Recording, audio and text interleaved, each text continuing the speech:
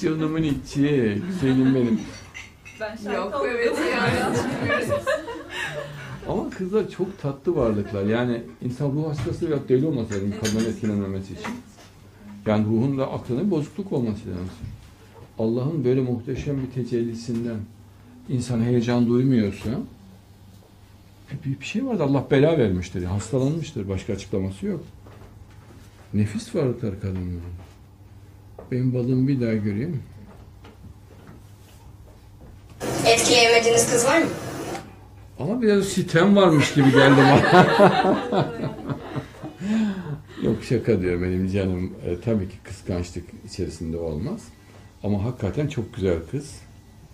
Allah nuruyla onu sarsın, cennetiyle sarsın. Beni çok kişilikli görünüyorsun, bayağı güzelsin.